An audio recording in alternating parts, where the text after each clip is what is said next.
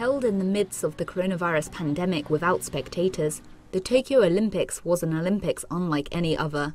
Going into the Games, polls showed 60 to 80% of Japanese were opposed to the event. But on the day of the closing ceremony, many people in Tokyo couldn't resist gathering outside the stadium. Mm, I think it's better that they held the games rather than not, even though there was opposition about how much COVID would spread and all that. This is my second Olympics. I saw it the first time it was in Tokyo, so I really wanted to see it a second time. I'm against the games. When I watch them, I find them very exciting, but you can see COVID is spreading faster and faster, so it makes me wonder. Even then, I've come here to see it, especially as today is the closing ceremony. With spectators banned and public viewings cancelled, watching from the streets was, for many, the only way to mark the moment. People have turned out in force outside the stadium to take photos and commemorate this historic day. But feelings on the ground are mixed.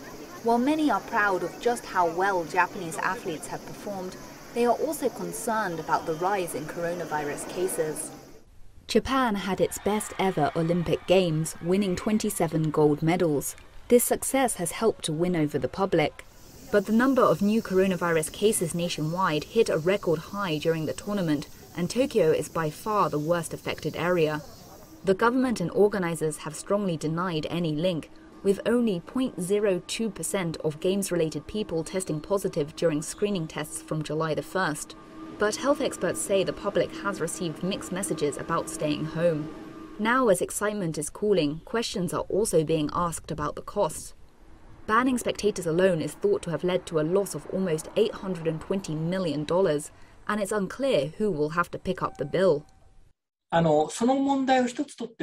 Just looking at the loss from ticket sales, who is going to bear the costs? The Tokyo Metropolitan Government? Or will the central government give out some money from taxes? Including additional coronavirus measures, who will shoulder the cost and to what extent? The government has been continuously postponing that decision. They're not touching on that topic at all. According to an Oxford University study, the cost of Tokyo 2020 had already overrun by 200% before the additional costs from a one year postponement were included. The official price tag is currently around $15.4 billion, but many expect it to add up to more. There is a saying in Japanese, after the festival. Currently, there's still wild enthusiasm, but once the Paralympics are over, there will be questions about how much the Games have cost, how much the coronavirus has spread, and there will be an increasing number of voters who find this situation contradictory and who come to resent the Games and get angry.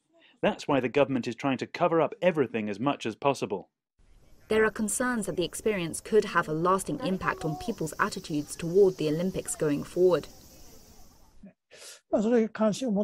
Japan has many people with a strong interest in the Olympics, and when the Games kick off, the atmosphere gets really lively. But this time, the Games were pushed through despite anxiety over the coronavirus, and neither the government nor the IOC listened to the voices of the people, so I imagine some will turn away from the Olympics. As the pandemic continues, the Tokyo 2020 Olympics may go down in history for the circumstances in which they were held, rather than the sporting achievements. Phoebe Amoroso, CGTN, Tokyo.